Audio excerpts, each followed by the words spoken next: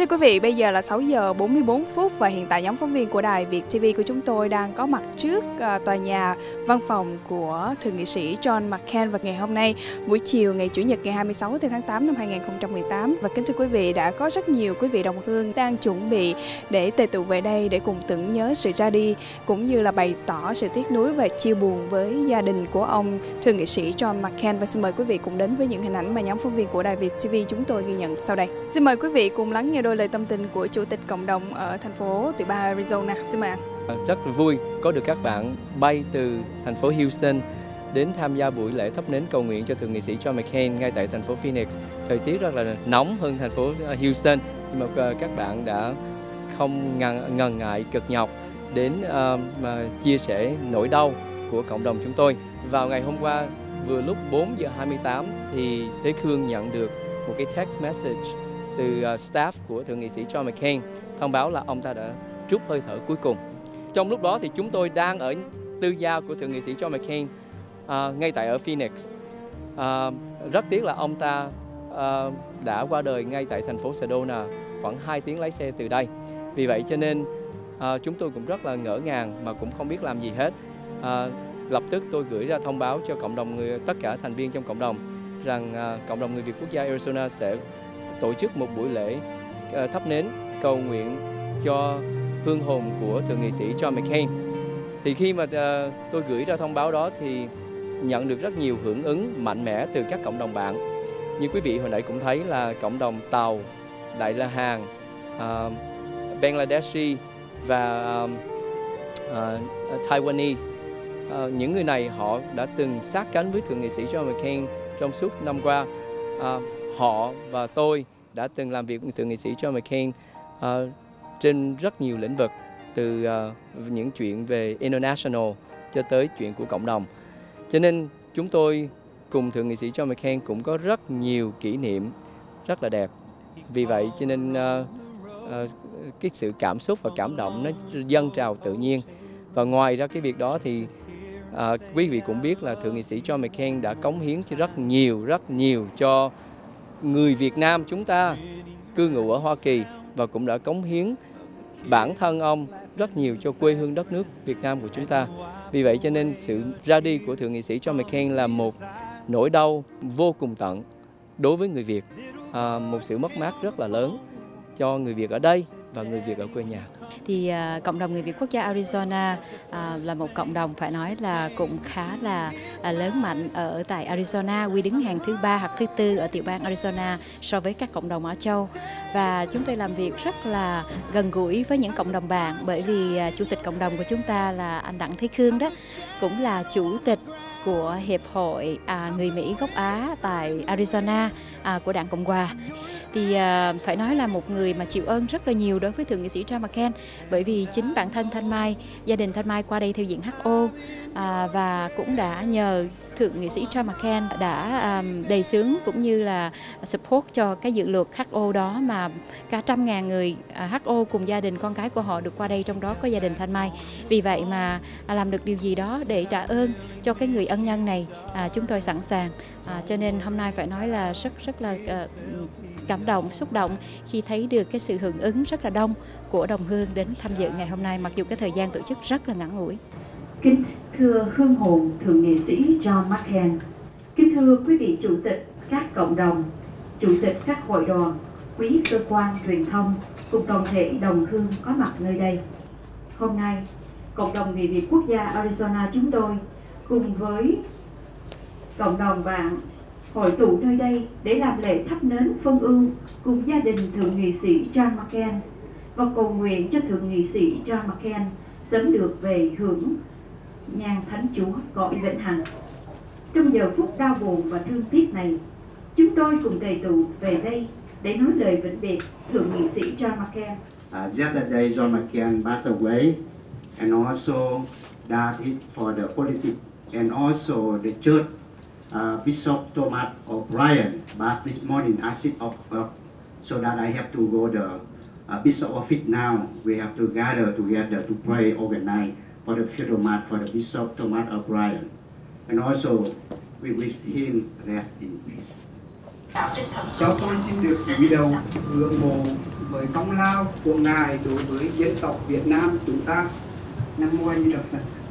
À, đại diện chùa Hồng Sơn thì tới đây có lời cầu nguyện một đời ông đã làm lời lạc cho chúng sanh thì xin cầu chư Phật mười phương cho được ta chỉ hiện văn văn gia hộ cho ông được về cảnh giới an lành a di đà phật chúng tôi thành tâm cầu nguyện cho hương linh ông được vãng sanh về miền cực lạc.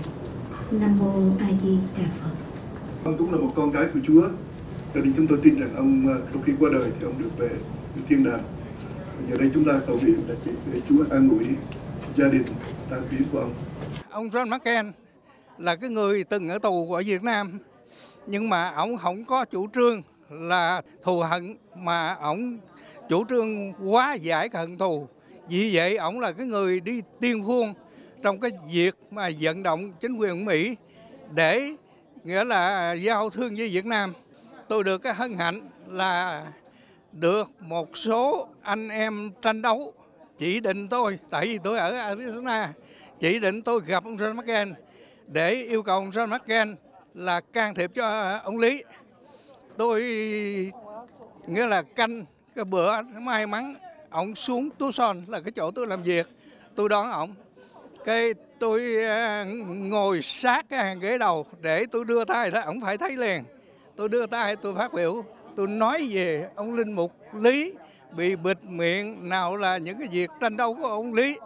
Tôi vừa dứt lời, cái ông phát biểu thêm nữa ổng biết còn nhiều hơn tôi biết điều đó nói rằng là ổng là cái người mà chú ý tới cái chuyện tranh đấu ở Việt Nam.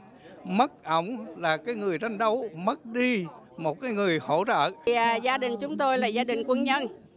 Đi qua đây à, với với, với diện được bảo lãnh. Cho nên là tất cả đều nhờ chính quyền mà trong đó chính quyền có ông John McCain là người tôi biết. Ông John McCain là người rất có thiện cảm lại với đồng bào Việt Nam, vừa là tị nạn, vừa là được đi theo bảo lãnh. Thành ra gia đình chúng tôi lúc nào cũng cũng như là tất cả những bà con, những người quen biết đều có một cái ý tưởng chung là lúc nào cũng nhớ ông John McCain là người đã giúp đỡ cho tất cả những cộng đồng. Um, he did a lot for the Vietnamese community here. Um, Tucson and Phoenix, uh, he's, he's just a hero. He's a war hero, and then he's a hero for the Vietnamese community because he did a lot for us. I just want to come and uh, show a little respect um, for the Vietnamese in Tucson, and then for us. Um, just want to say that um, I just wish him know that we how much we appreciate him and rest in heaven until we meet again. Um, that's all. Um, biết ông sẽ ra ra đi nhưng mà được tin thì rất là buồn. Um, he made the great impact to um, myself, my family, and a lot of Vietnamese community here in Arizona as well as across the world.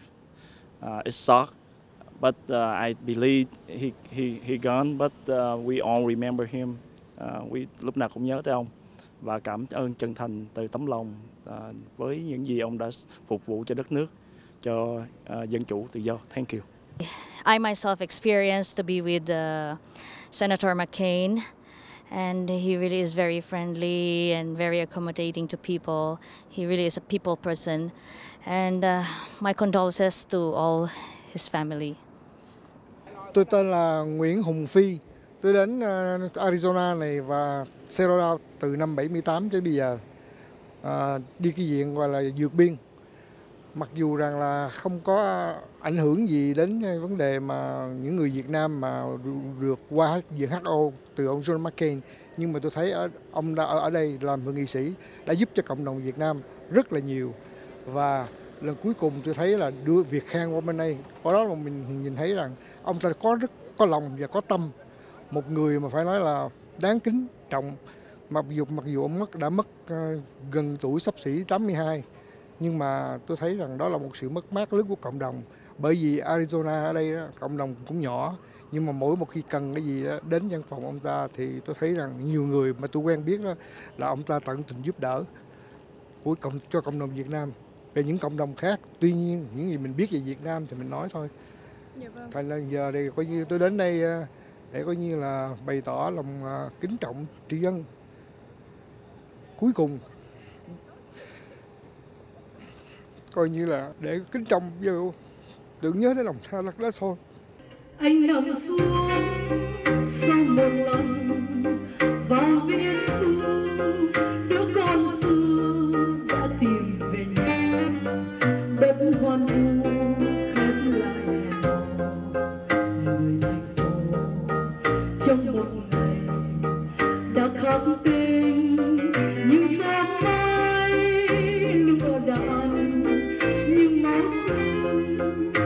chập chung sinh cho một người. Vừa nằm xuống thấy bóng thiên đường cuối trời thênh thang. Sinh cho một người. Vừa nằm xuống thấy bóng thiên đường cuối trời thênh thang.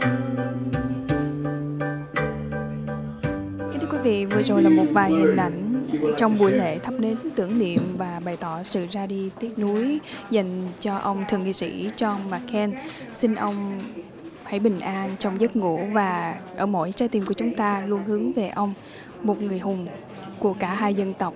Và Á Hiền rất là cảm ơn quý vị đã dành thời gian tham dự buổi lễ thắp nến cầu nguyện này. Xin mến chúc cho quý vị có một buổi tối thật đoàn viên, hạnh phúc và xin hẹn gặp lại quý vị trong chương trình phóng sự cộng đồng lần sau.